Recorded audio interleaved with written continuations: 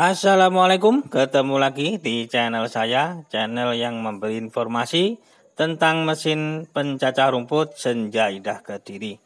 Oke, ini ada proses pembuatan kerangka mesin pencacah rumput ban Arco ya. Nah, ini sudah setengah jadi. Tinggal proses pengecetan. Oke, seperti ini. Oke. Lanjut. Ini proses pemasangan penggerak e, mesin pencacah Banarko ya. Ini pakai mesin 6 setengah PK ya, kan kawan. Oke, lanjut.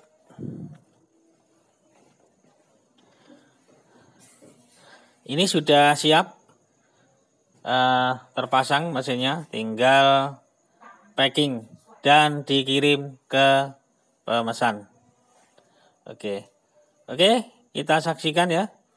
Uh, uji coba setelah mesin ban Argo ini dikirim ke pemesan di daerah Kediri Selatan, tepatnya di Kecamatan Mojo, Kabupaten Kediri. Lanjut.